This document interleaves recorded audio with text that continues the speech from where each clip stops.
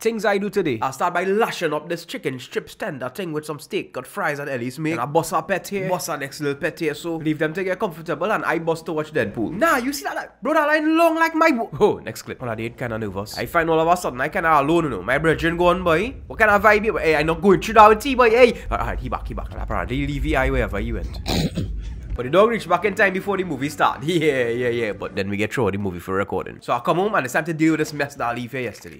But really, actually, one man trashes the next man treasure. Nah, that's definitely not what I'm trying to say. I'm trying to say, like, like, like, when you, when you check a man trash, you could see what he about now, but yeah, yeah, yeah, yeah. That's what I'm trying to say. For example, boom, I just a kind of man that want to make sure he fish safe when he go on vacation. Why I still had this and I come back from vacation months ago, I don't know. All these stones I bring back from a beach in St. Martin from my aquarium and I blame the weight on my suitcase and my fiance and I still have it here, I never use it. I don't know. But what I do know is that you see any kind of tools the dog the dog pumping with that might function, you feel me? A serious kind of might come to take everybody job out here. Alright, alright, enough for that long talk. Let me beat all this in a few seconds.